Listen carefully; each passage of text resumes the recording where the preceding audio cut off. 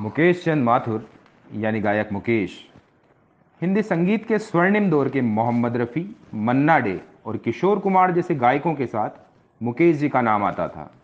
जिनके गीतों को हम जब आज भी सुनते हैं तो कई पुरानी यादें और एहसास उभर आते हैं। मुकेश जी किसी भी गीत में जान डाल सकते थे। आज हम आपको एक ऐसे गीत के बारे में बता रहे हैं, जिसे लिखा तो किशोर कुमार जी के लिए गया था, लेकिन मजबूरी में मुकेश जी से गवाया गया। आखिर क्या थी वो मजबूरी? और किस तरह मुकेश जी ने इस ठुकराए गए गीत को बिछुड़ने के दर्द से सराबोर कर दिया? यही बताएँगे हम आपको इस खास पेशकश में। तो चलिए, शुरू करते हैं आज का सफ़र।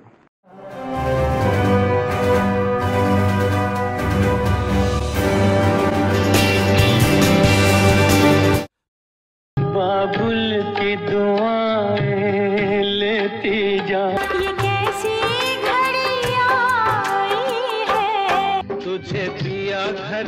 जाना है। हिंदी फ़िल्मों में बेटी की विदाई से जुड़े कुछ ऐसे गाने हैं जिन्हें सुनकर हर माता पिता की आँखें ज़रूर भीगी होंगी। इन्हें सुनकर आज भी सबकी आँखें डबडबा जाती है। मिलन है जुदाई है। इन गीतों में रफ़ी साहब का ये गीत सबसे ऊपर है। बाबुल की दुआएँ लेती जा। लेकिन आज हम बात करेंगे मुकेश जी के इस गीत की जिसे बॉलीवुड का सबसे लोकप्रिय विदाई गीत माना जाता है। चल रही सजनी हम क्या सोचे? ये गाना देवानंद सुचित्रा सेन की फ़िल्म बम्बई का बाबू फ़िल्म का है जो 1960 में रिलीज़ हुई थी। कजरा ना बह जाए रोते रोते। हालाँकि इसके पहले 50 के दशक में फ़िल्म बाबुल में शमशाद बेगम का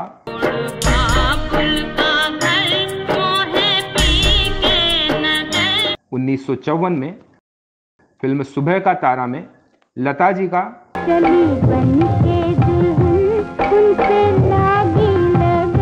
और उन्नीस सौ सत्तावन में मदर इंडिया में शमशाद बेगम के गाने को भी दर्शकों ने पसंद किया।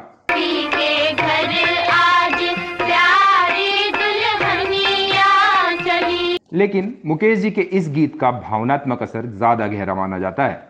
इस गीत में कुछ ऐसी बात थी कि ये सीधे लोगों के दिल को छू गया। बाबुल पछताए हाथों को मल के बेहद भावुक कर देने वाले इस गीत को लिखा था मजरूह सुल्तानपुरी ने। इसके संगीतकार थे एस डी बर्मन। इसे मशहूर निर्देशक राज खोसला ने डायरेक्ट किया था और इसकी कहानी राजेंद्र सिंह बेदी ने लिखी थी। बाबुल पछताए हाथों को मल के फ़िल्म की कहानी उस जमाने के हिसाब से बहुत बोल्ड थी। राजेंद्र बेदी और एम आर कामत ने ओ हेनरी की कहानी ए डबल डायट डिसीवर से प्रेरणा लेकर ये कहानी लिखी थी, जिसमें एक ठग के रूप में देवानंद सुचित्रा सेन के घर पर उनका बिछड़ा हुआ भाई बनकर आते हैं। वो इस घर के मालिक की तिजोरी उड़ाने की साजिश करते हैं। फ़िल्म की कहानी ऐसे घूमती है कि सुचित्रा सेन देवानंद को अपना भाई समझती है और देवानंद उसमें अपनी प्रेमिका ढूँढने लगते हैं। दोनों कलाकारों ने इन किरदारों के मन में चल रही कश्मकश को राज खोसला के निर्देशन में बहुत खूबसूरती से उजागर किया है।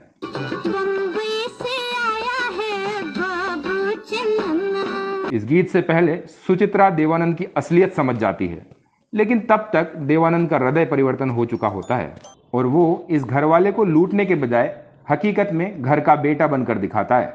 इतने बोल्ड सब्जेक्ट पर आमतौर पर मुख्य धारा के फिल्मकार और कलाकार नजरअंदाज कर देते हैं, लेकिन इन लोगों का ये प्रयोग बहुत हिट रहा।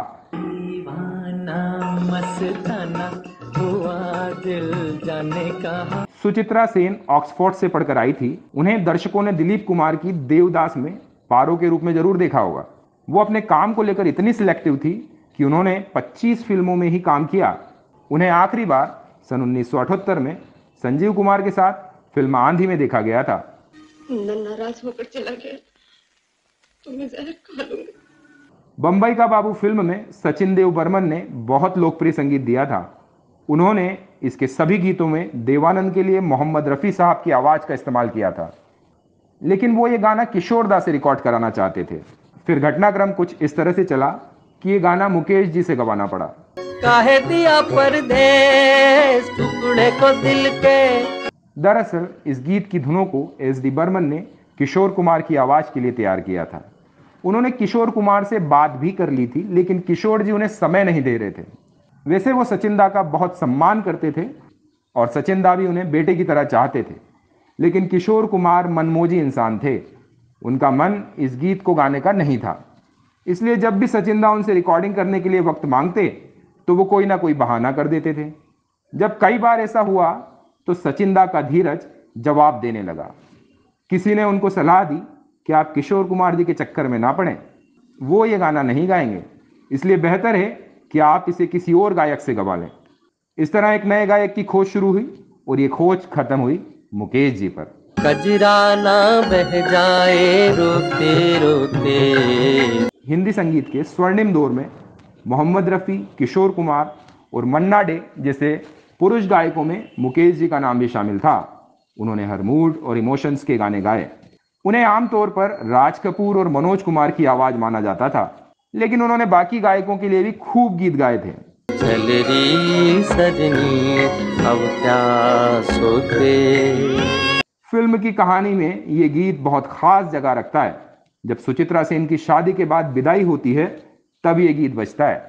इस गीत में बर्मंदा ने कोरस का इतना बेहतरीन इस्तेमाल किया है कि इंटरल्यूट म्यूज़िक केवल शहनाई और कोरल सिंगिंग से ही आगे बढ़ता है। ममता का चल गुड़ियों का कंगना।